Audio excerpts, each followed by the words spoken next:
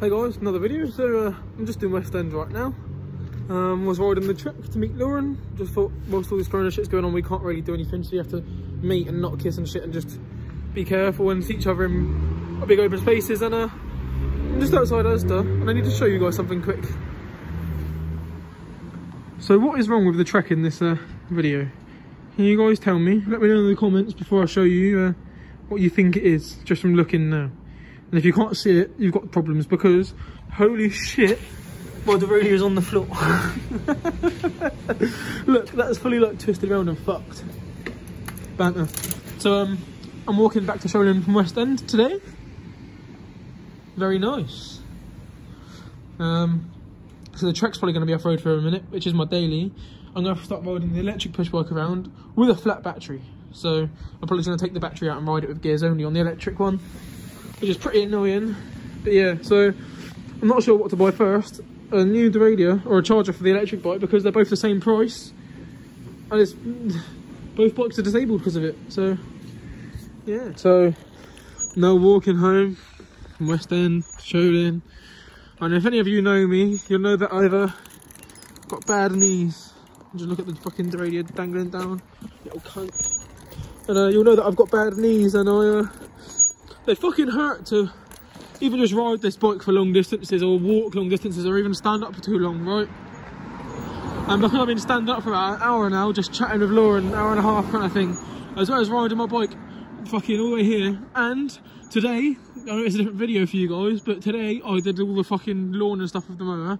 So I've done so much today and uh, it's really taken the toll on them and I can't even roll on this back because that's on the floor. So this is really probably one of the least fun moments of this channel. But uh, I'm not going to dwell on it for too long. Next part of this video, we're actually going to get into some fun shit rather than me bitching and moaning, you know? So yeah, sick. Walking is an absolute bitch.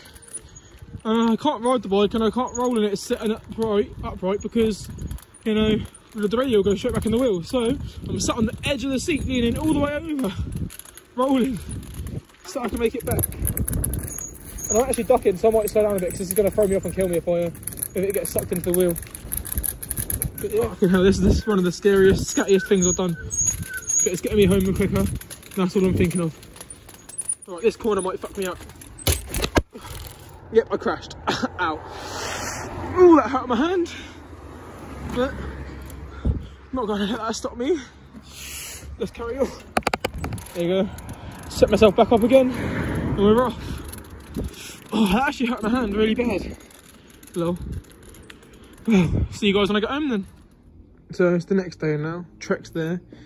Um, with the radio on the floor. Look, you can see what I mean now. But it's broken because it's on the floor. Um, and yeah, I've got to move these logs in a minute. Before I do that, I've got to destroy these beds. Which is a bit of a piss take, but got to be done, in it. So, yeah, let's get to the fucking destroying. Well, I don't even know if I want to destroy them, because there's good bits of wood in there. I could use all these bits of wood for so many projects, can I? I don't know, I'm going to have to think about it, but I've already beaten all the corners on this one, and then robbed the two back corners, so I plan now. oh well, I'll think about all that in a minute actually, I'll just stack it up nicely for now.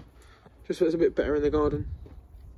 So all I've done is I've just quickly tidied the garden up a bit, put the mower back over there, um, move the logs over there, stack the beds up and just give a nice free space to do everything again, you know? So, uh, let's crack on with these bad boys, you know? See what we can do about these to get one good one for now anyway. So currently I've just got, um, I'm putting all the intake set up from this one and the spark plug onto this one. Um, I've just got the new manifold on and you can see how much nicer it is compared to the old stuff. Look, look at the bolts as well, they're not even rusty. The old shit is. Um, there's the two carbs, there's the old one. Still got the bracket on it, but I need to take that off so you use it on the other one because the bracket's the same, but this one won't come off, the throttle cable. So it's got to stay on that one. So all I'm doing is taking that bracket off in a minute, put on that one. You can see the carbs are identical. Do you know what I mean? There's no questioning that they are the same carb, you know? So, and even if you look at the other side, they're still identical. I mean, this one's got an adjustment screw. This one doesn't, but that's because most manufacturers don't want you to adjust them, you know? So, yeah, also this one's got a good gasket that isn't ripped. kind of handy. So I'm going to work that on, work the pipes on, and uh, see what this one does. Get some more fuel out the mini motor. Because that's where all my fuel is. yeah. So I've now got the uh, intake on it, which is all happy days. Um, it's actually got an airbox with this one as well. Look, it's got a little bit of sponge on the top bit. Um, and I forgot to mention what was actually wrong with this other one. Um, it's just really hard to pull the pull start. Like the pull start itself, when it's uh, unloaded from the engine, well, it was quite free, but um, it's not anymore, and it's fucking hard to pull, and it's like pum, pum, pum. Whereas this one here, when you pull it, it's like. It's almost like that one's got way too high compression, as if there's something wrong with it. Whereas this one has just got too strict compression. You know, little to nothing, but you know it's good. um, yeah, I'm try I want to swap the spark plugs before I try anything, but it is ready to just put fuel in and try. So I might just do that, you know, um, reattach it to the big old arm so it's all properly on. And yeah, yeah, fuck it. That's what I'm gonna do. Right, I'll see you in a minute. I'm gonna put the uh, big rod back through and that because it's got all my proper throttle and stuff on it. Um, I'll see you in a minute. So I've got that back on. Um, the inlet's completely on. I've just got a bit of fuel up the old uh, racing beast. And uh, let's give it a pull, see if she starts. Me just climb up quick. Now we'll see if she starts. You ready? Think the choke's in the right place. That was instant.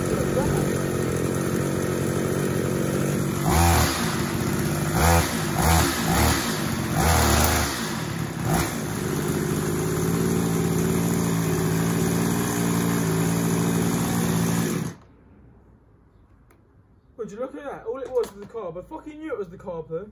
I knew that was the issue. This thing was being a bitch, right? So the primer bowl was always full of air. There was always a bubble of air at the top of it, right? And fucking, it, just, it was just so shitty inside. Whereas this carb, as soon as I primed up on here, the bowl's completely got all the air. It's just fuel only, how it's supposed to be. Um, and of course, as you see, it started first pull. So clearly, and look, the spark plug wasn't even on properly. The little fucking coil spring thing. See what I mean? I was running like that.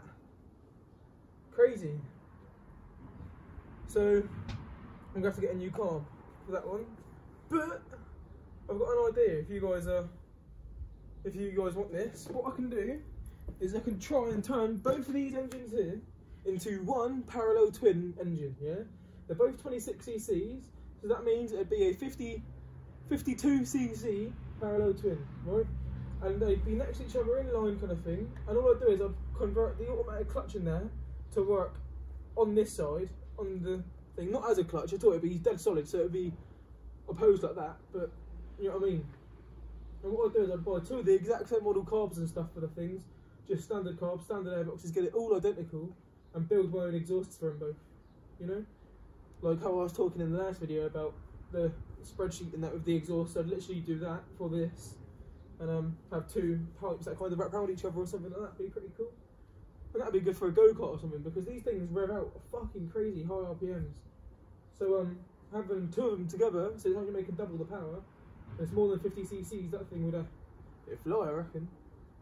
Be a bit of a bitch to pull away kind of thing, but as soon as she starts going, I reckon it would, you know? Because that, that's a single cylinder, like 60 cc my racing motor. So be, I reckon it'd be about as quick as that. Uh, maybe even a bit quicker on top speed, probably more horsepower because it can rev a bit higher. But for me, that thing goes. And if you guys haven't seen the videos of this thing go, oh wait, I've even, I've never actually uploaded the videos of this thing going. Leave a like if you want to see them. They're old videos, but this thing, oh my god, we've got some videos of us flying on this thing, including one of me dying on this thing, um, and completely fucking my right knee, which I actually fucked that same week two more times beforehand and it's led to like some permanent damage because now I like can't walk. So you know, yeah. Also, just from a machine standpoint, the difference between the two is that this one's supposed to have strimmer wire in it, um, and that one's a brush cutter, so it's got a big metal blade. If you see there, look, it says max 10,000 RPM. 10,000. That's a lot of RPMs, yeah? And I'm pretty sure that thing there fucking revs up to 20,000. That could be a half reduction gearbox. I don't know. I don't know what the ratios of all this is, but fucking hell, what? It's crazy stuff. I swear these things rev out to about 20,000 RPM because they're so little and they just rev, you know? That's where all the power is, just in the revs. Uh, fuck knows. So I've now officially pieced that one back together because now they look identical again. Happy fucking days.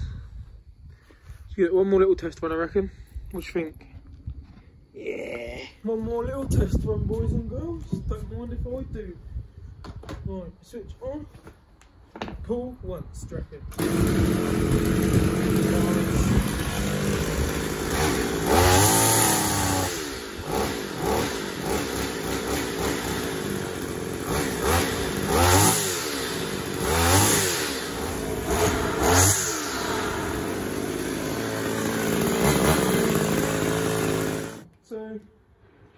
runs fine, the strimmer runs fine, the brush cutter doesn't run fine. So that's the next thing, getting that one going properly.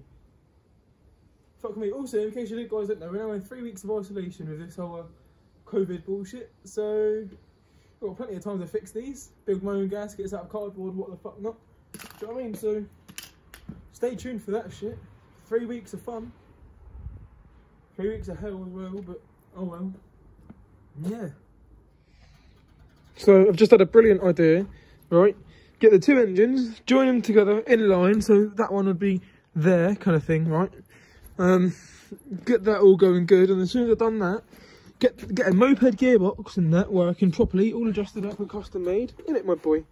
Get all that done, um, and whack it on a go kart with the auto trans. Because um, with an auto, rather than just having the centrifugal clutch single speed, it will have good acceleration the whole way through and way better top speed. Wouldn't it, my boy? And um, I think that would be the best bet to having this thing yeeting. Wouldn't it, Vern? Wouldn't it? yeah, I reckon that would work.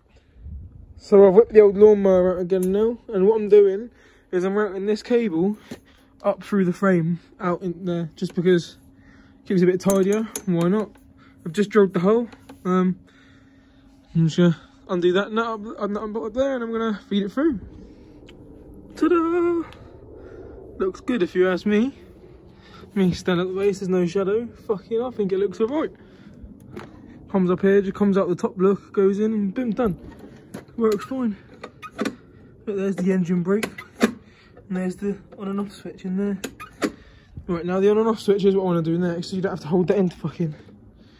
Then you still have to hold it in for that. So actually I'm just going to make something that holds it up there, fuck it. Something like a metal clip or something. So I've swapped the engines over, I've taken it off the strimmer and put it on the brush cutter.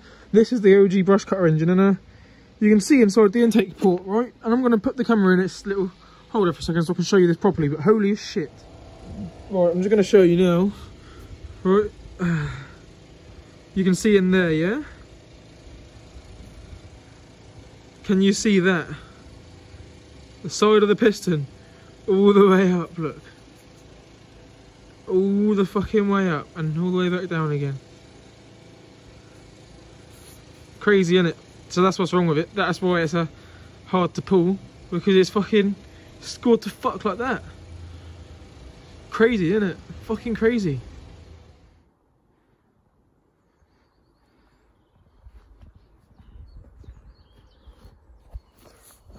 So I'm down the allotment, so I just going to start the lawnmower and it's got no compression.